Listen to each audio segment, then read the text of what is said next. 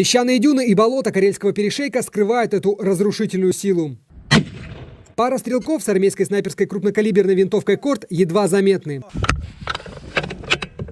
Зато с этой позиции, как на ладони условный противник, и не важно, что до него больше километра, современное дальнобойное вооружение позволяет стрелкам выходить победителями из снайперских дуэлей. С этой винтовкой можно там разрушать. Спокойно можно там пробить укрытие, да, ну, и нанести какой-то там урон. Патроном БС спокойно можно прошить э, бро, ну, броню, допустим, бронетранспортера там. Снайперском деле далеко не новички, но здесь они все курсанты. Повышают уровень мастерства в Центре снайпинга Западного военного округа. Этот полигон для них теперь второй дом на три учебных месяца. Эта груда бетонных обломков и кирпичей имитирует разрушенное здание на окраине города. В таких непростых условиях снайперы должны оперативно найти место для маскировки и одновременно удобную позицию для ведения огня.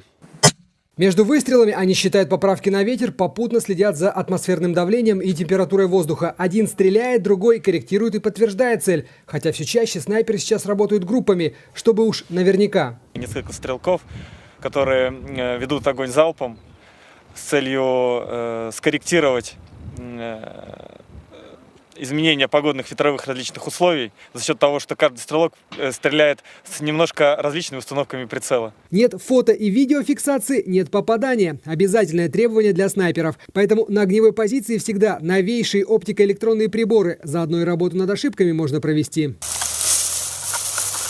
Ниже травы, тише, а желательно бесшумно. Кроме боевых стрельб, курсантов ждет тактика специальная подготовка по маскировке на неподготовленной местности. Товарищи обучаемые, при передвижении совершайте слишком резкие движения, движения должны быть плавнее. Итогом интенсивных тренировок станет выпускной экзамен с присвоением соответствующей квалификации. Многие могут вернуться в свои воинские части уже старшими снайперами или командирами отделений. Роман Закурдаев, Александр Петров и Дмитрий Филиппов, телеканал «Звезда», Ленинградская область.